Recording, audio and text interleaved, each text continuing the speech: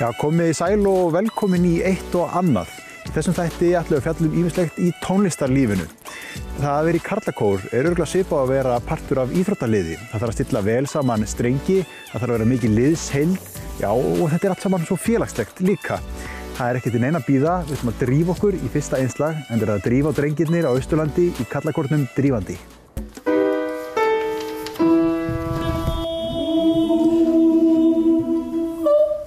Þetta þarf að koma svona, þetta kom ekki alveg svona á þann, en nú gerum við þetta aftur. Einn, tvei, þrýr og...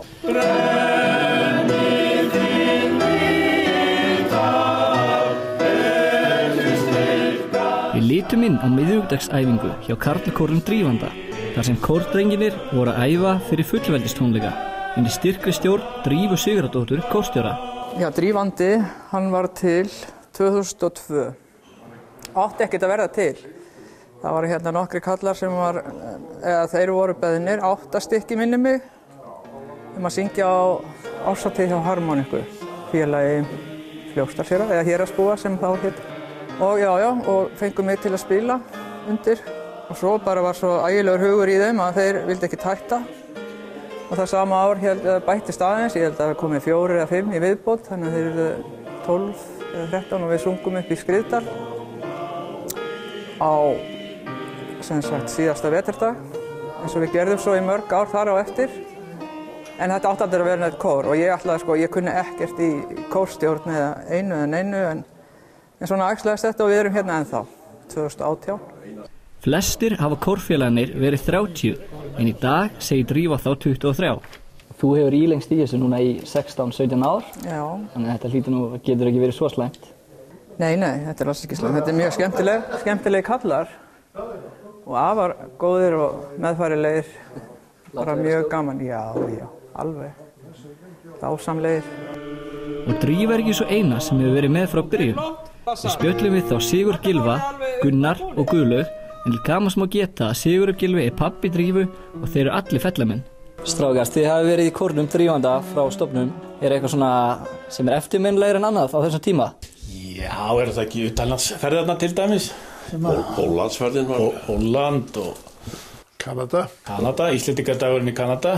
Það er svona, stendur upp úr held ég, á mér að Jó, ég tann alveg tvímanalöst. Hvernig lýsa þessa kórferði sér? Í þessum tveimur sem við vorum að nefna núna, það er, þar vorum við svona formlega að syngja svona alveg tónleikum.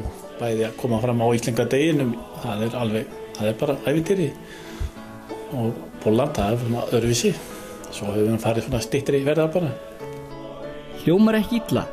Ætli starfi hafi breyst frá stofnum kórsins. Nei, ekkert svona verulega finnst mér. Þetta er svona, við erum á æfingum einu sinni í viku yfirleitt. Og já, þetta er svona verið föstum skorðum hjá okkur bara. Svona, misjaflega föstum en, en svona nokkuð reglubund einu sinni í viku. Við erum nú ekki oftar en það. En, ja, þannig að við fáum aldrei leið á þessu held ég. Og það er eitt og annað í pípunum. En árið 2021 mun kórin halda karlakóramót, svo kallað heklumót og mun þá fá í heimsó til sín kóra af öllu landinu. Það eru svo nokkri fasti punktar í starfsemi kórsins. Þannig eru tónleikar bæði fyrsta vetardag sem og á vorin. En hvernig er það? Syngur karlakórin drífandi hvaða lög sem er eða lög sérstök áhersla á eitthvað sérstakt? Fyrstu árin voru áhersla á svona aust, eða lög hérna eftir austfiskar höfumetta. Sérstaklega lög þá og jafnvel texta líka. Eins og lagið sem við sungum hérna áðan í upphæfi, Kona sem kynntir opnum minn. Það lag er eftir Vilhjálm Einarsson, rektor, fyrirverandi rektor. En, hérna, og, en það er svo hefur náttúrulega bara blandast inn í kórin eftir því sem hann öldist. Svona kallrembu lög eins og ég segi. Eins og við erum æfa núna fyrir laugadaginn. Þetta eru ekta svona kall, eða þetta er bara ættjarða lög, alvöru lög. Þannig að við syngjum allt, dægulög og við höfum sungið Vil að Vil, við erum með tónleika bara með lögum sem hann gerði vinsæl og alls konar. Já, alls konar segir hún. Að lokum langar með að vita hvað kröfur drífa gerir til þeirra sem hafa áhuga á að gangi kórin. Það er hérna bara, hafið áhuga á svona söng. Ha, já, ekki verða að þið geti sungið. ha, það er náttúrulega bara alls ekki. Og þetta er skemmtilegur hópur, þú sér, þeir eru allir brosandi núna, flestir hérna. Þannig að við tökum fagnandi hverjum þeim sem vill vera með.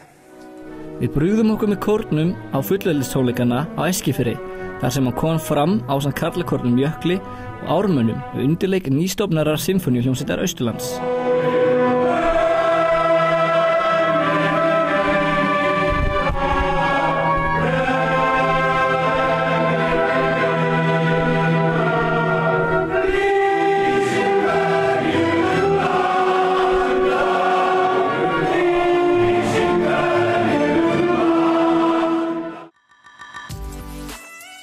Austri höldum við vestur. Það er mjög öflugt kórstarf.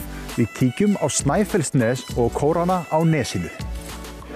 Á Snæfellsnes er mjög öflutt karlakórastarf og á dögunum held karlakórin Kári upp á tíu ára afmæli sitt með stórtónleikum. Þar tóku Káramenn lægið með félögum sínum í karlakórnum Heiðbjörtu. Þá fengu þeir einnig tvo góða gesti til sín, þá Eithor Inga og Elmar Gilberts. En gaman er að segja frá því að Elmar er einmitt uppalinn í dölunum og var búsettur í grundafyrðum hríð. Kór er bara, Saum og klúpur okkar karlmannana. já, og kannski miklu meira en það. Þetta er bara, þetta er félagskapur, Já, það er það. spjall, söngur, grín, Já, mikið af því. mikið af því, Já. samvera, laus við kellingarnar, smástund, Flestar, flestar. flestar að við erum eina. Já, hún jafnast nú á þér allar. Já, já. Þið eruð í sikkunum kórnum, það er karlakórin Kári eh, sem er á norðanverðu Snæfellsnesi og svo karlakórin Heiðbjörn á, á sunnanverðu Nesunu og það er doldið samstarf hérna á milli, er engin metingur og svona? Já, mikill. Það er ekki spurning.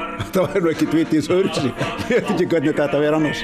En, en, en þið hérna tækist nú hendur og, og haldið tónleika svona stöku sinnum. Já, og, og opnar æfingar.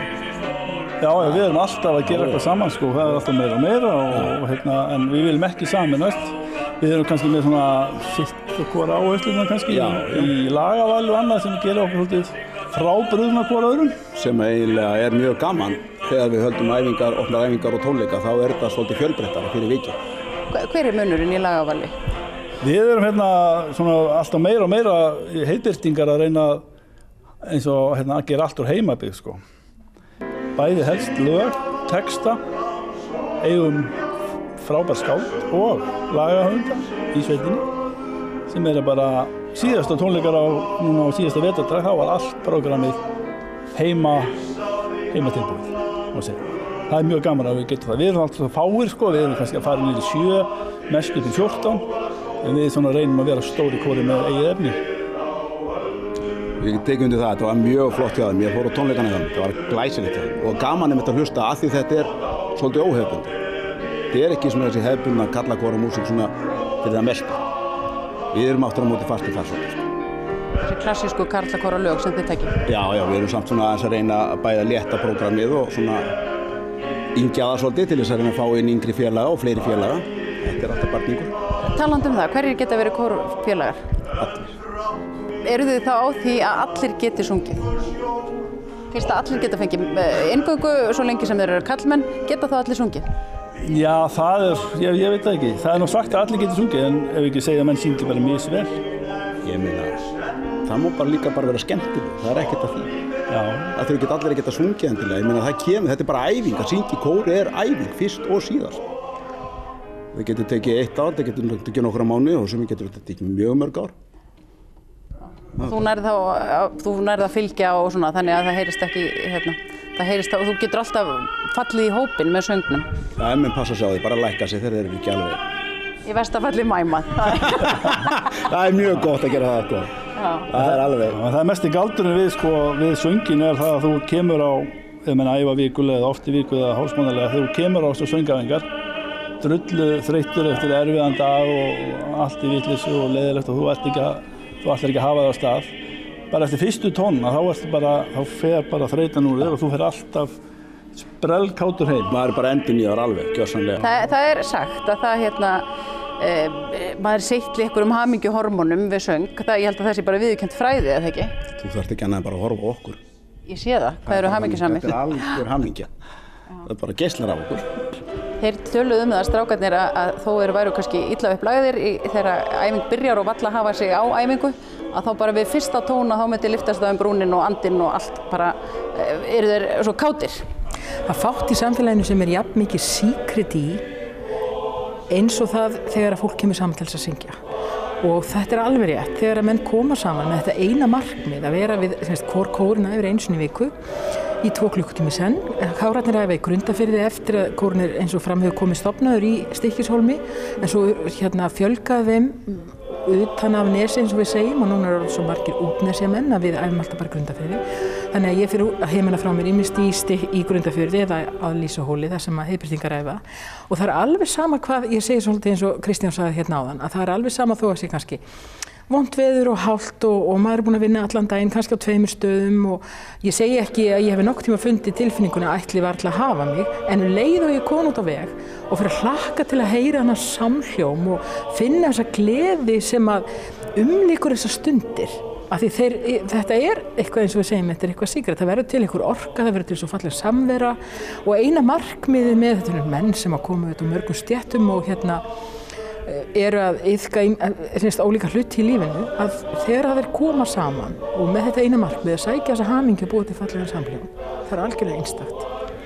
Ég heyrði og sagði við aðan hérna, ekki vera einbitt ykkur, ekki vera hugsa mikið um að syngja fallega, syngiði bara með öllum líkamannum eða eitthvað svo leiðis. Hva, hvað varst það að segja við það? Sko það er í sambandi við þessa rættbyttingu og í sambandi við það að nota einhvern veginn alla veitundina sína, nota allan líkamann og alla hugsunina að eh, til þess að ná í þennan stórkostlega hljóm sem ég segja hver einasta manneska getur sótt þessi kjarnar hljómur í okkur öllum þó að það sé mismunandi sko, hversu lagvis við erum það er, það er svolítið annað en að þóra nálgast þetta hljóðfari að opna sig fyrir möguleikanum og ef meðan við erum alltaf að hugsa um að vanda okkur og þetta verður að vera svo fallið þá erum við á ákveði þraungum stað. Við erum að dæma sjálf hvað við heyrum og höldum aftur á okkur. En um leið og ég hérna, það er það sem er svo skemmtilegt með að vera að vinna með svona hópa að maður fær svona hugmyndir sjálfur. Já, nú ætlum ég að prófa þetta, prófa að segja þetta. Og þetta verður einhvern veginn, þetta skapast svo mikið á staðnum og þegar eftir ég fór að segja við, þetta við á sko strákar, ekki syngja svo, auðvitað er þetta 50% djók og fyndiðar kórstjóri og segir ekki syngja svona fallega, þetta er hálf kjánaleg en það er samt, þeir skilja hvað ég, hvað ég á við það er þetta að sleppa tökunum á ykkurum höftum opna og láta þetta hennar svo náttúru tóna koma bara. Og ég sé það alveg og ég finna að þegar þeir sleppa þessu og þóra að opna svona þá gerast það ótrúlega hlutur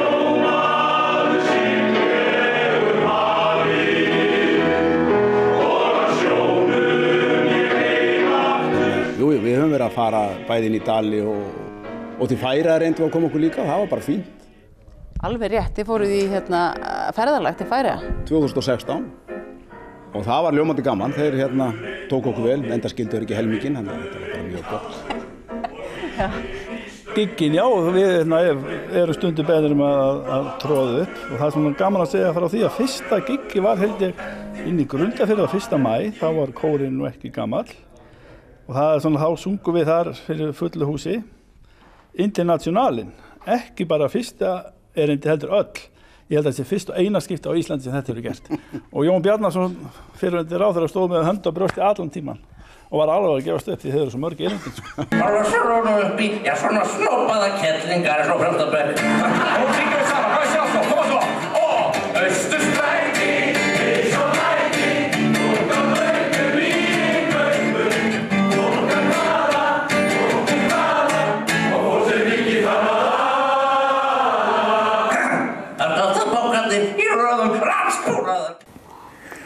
ætlum að kvíla rattböndin aðeins og við getum tekið vel undir í setni hlutunum. Kíkjum í auglýsingar.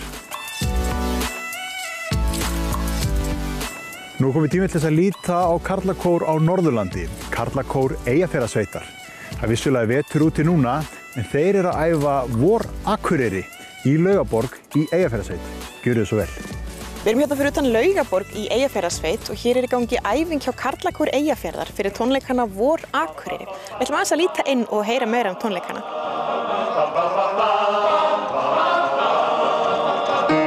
Já,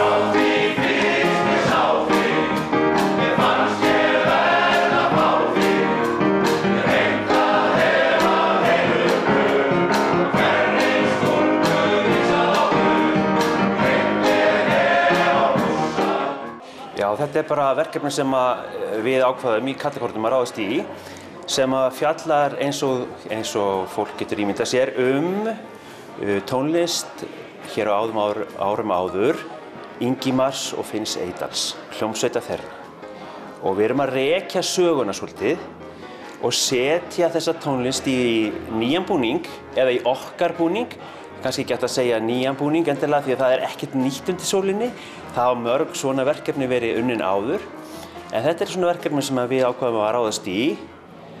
Kórin býr svo vel að hafa hljómsveit þannig að það var auðvelt með það að gera.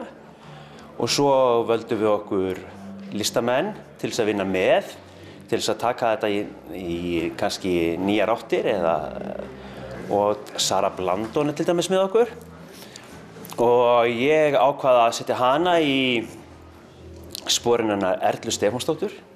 Og hún ætlar að syngja þau lög. Og svo ætlar Helena að syngja sín lög. Og svo eru þarna hljómsveitameðlimir eins og gamli hljómsveitameðlimir eins og Grímur, Sigursson og, og, og fleiri, Árni og Billy sem að allir þekkja þessa sögu þannig að það er auðvelt að rifja hann upp. Hvernig, hvernig er hérna ferlið að setja upp svona síningu frá hugmynd? Já, það er auðvitað alltaf flókið. Ég hef útsett fyrir kórin, rattsett fyrir kórin, meira og minna þetta efni. Það er mjög skemmtilegt. Það þarf að gera það, en það að því við erum með kór sem er svona miðjan á öllu saman. Nú, svo er þetta alltaf bara svona markaðsferli og allt sem það tilherir því að setja upp tónleika í dag. Það er ekkert einfalt mál. Þurfum að fá áherindur og, og, og fjármagna og, og allt það sem að þessu við kemur og setja okkur síðan inn í það efni náttúrulega sem við erum að fara að flytja. Hvernig var þetta? Og hérna, og líka bara í, í hvaða nýjar áttir getum við hugsanlega að fara með þetta efni. Það er ekkert varið það í sjálfur sér að fara að feta bara í fótsporin heldur einhvern veginn leggja mark sitt á þetta líka með sínum sporum og, og nýjum áherslu. Það er nú vantilega mjög margir hér í kórnum sem þekkja þessa tónlist og tengja við hana. Það var hlustað hana í, í ára tíu jafnvel. Algjörlega.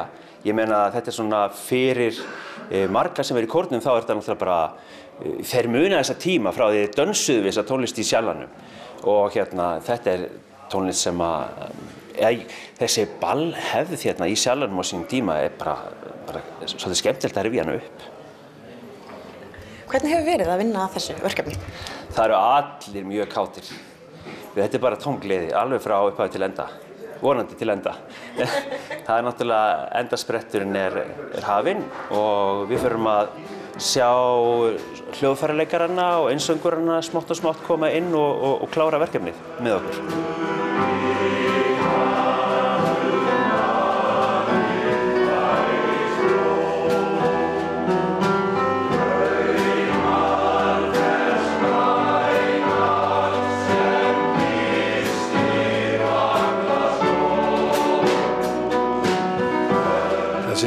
Akureyriska tónlist og sjalla tónlist sem að lifiði hér í, í ára raðir og, þarna, og þetta er bara tengir, ég held að þetta tengi alla akureyringa og nærsveitamenn við, við svona tónlist og, og, og hérna, já, ég bara, þetta er mjög gaman að hafa þetta. Og ég náttúrulega fór í sko fyrstu kynni mín að sjálfanum, þá, þá fór ég á dansnámskeið til Akureyrar sko, ég er nú úr sveit og þá var farið að dansa á, á sunnudagskvöldum eftir danskeiðansluna sko.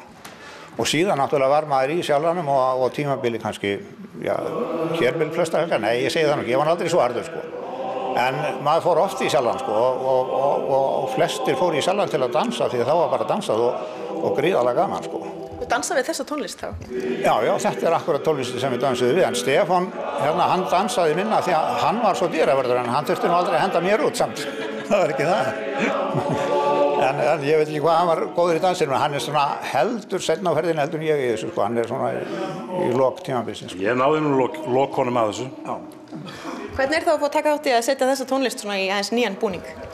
Það er bara frábært, þetta er alveg ótrúlega skemmtilegt. Það, að, hérna, við náttúrulega útsetjum þetta eða kórstjónunakar fyrir okkur sem kór og svona ímsu er breytt og sett í svona skemmtilegan og léttan búning. Við erum svolítið þekktir fyrir það að, að, að vera svona á letari nótónum í, í, sem gallakór sko. Þannig að þetta verður stór skemmtilegt. Hvernig er að taka þátt í svona starfi eins og ég kalla hver eigafjörðar er? Það er náttúrulega bara dásanlegt líf að vera í svona kór og, og, uh, og syngja. Uh, sko allir sem hafa gaman að syngja, það er svona lífsglatt fólk og hefur gaman að lífinu. Þetta er bara félagskapur, góður félagskapur og svo er þetta bara gott að koma svona í eitthvað annað. Þetta er bara einhvern veginn léttir mann alla þannig að maður er búin að kemur á eigingunni sko. Það er bara og nýr maður. Eitt félagi sagði einu sinni, hann er nú ekki kort með núna, hann sagði svo kjans maður þó að heimann sko. Það er svolítið gott. En það er, já, þetta er bara, þetta, maður kvílist bara á þessu, maður kemur endurnarður heim á kvöldin eftir þetta. En þetta er smá vinna, en, en bara gaman, það er ekkert öðru sín.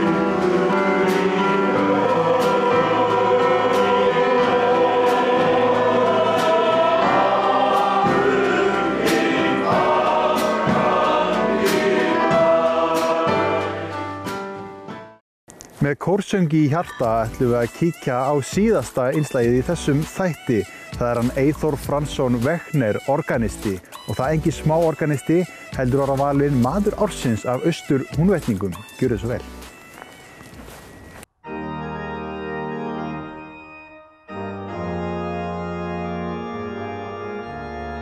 Við erum komin inn í Blöndóskirkju og hlýðum hér á organista kirkjunar, hinn 27 ára gamla Eithor Fransson Vegner, spila upphafið að E-stúr preludíunni eftir Jóhann Sebastian Bach.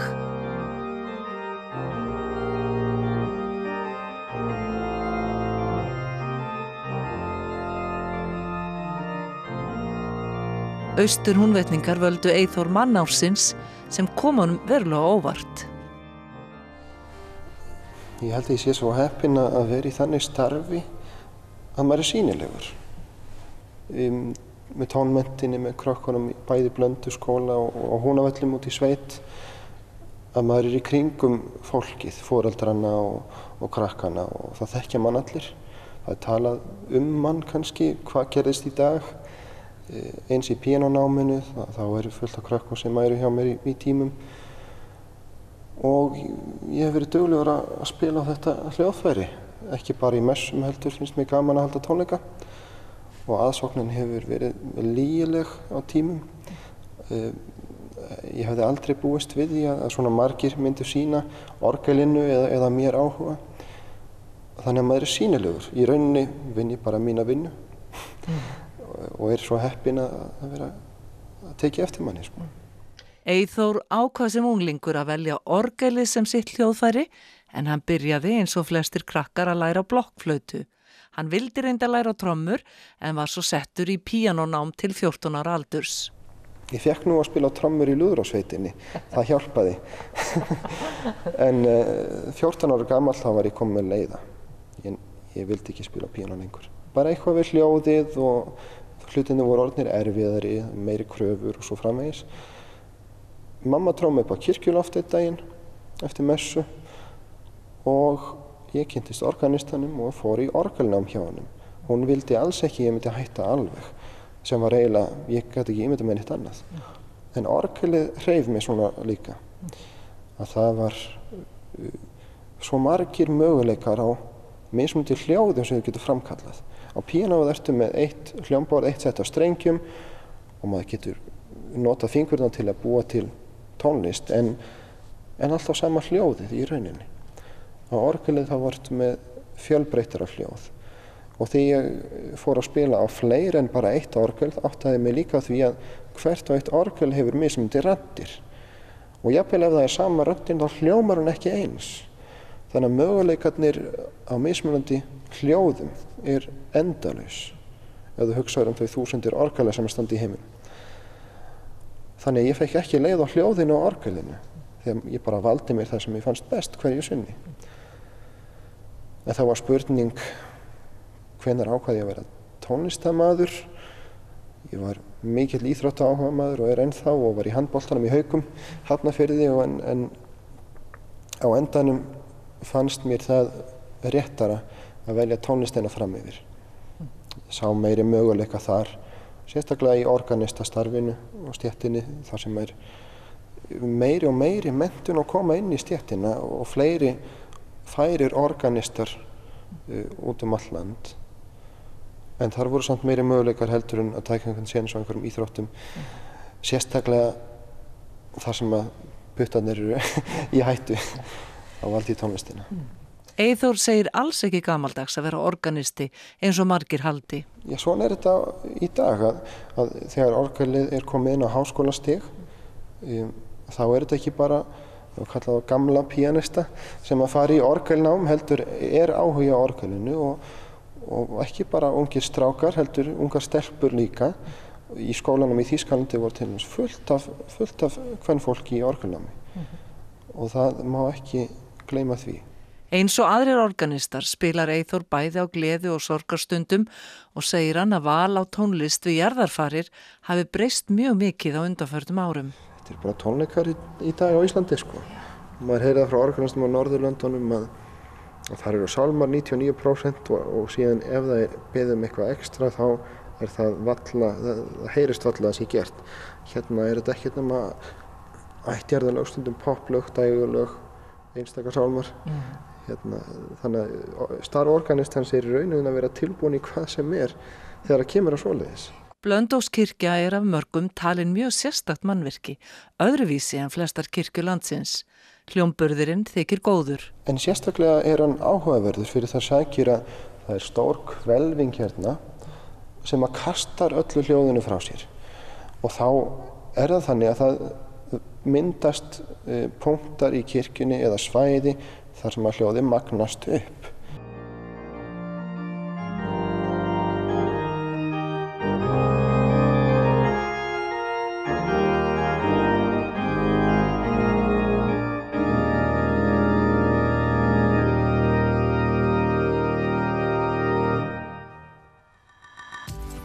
Já, það var áhugavert að sjá munin á þessu. Kór er ekki bara kór. Við sáum það á þessum mismunandi kórum frá Norðurlandi, Östurlandi og Vesturlandi og síðan Kirsubur á toppin, organistinn í endan. En það var ekki fleira í þessu þætti, þannig að við verum að býða þá til næstu viku með fleira úr eitt og annað.